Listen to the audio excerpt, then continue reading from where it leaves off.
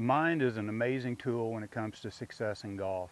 Hi, I'm Jeff Mitchell with the Golf Standard, and this lesson is about mind and body. It's a little bit more about concepts instead of practice drills, that kind of thing, but I think that what you'll find is the mental aspect of the game is going to have a huge impact on your ability to improve, to really gauge your success, to really move forward in the game.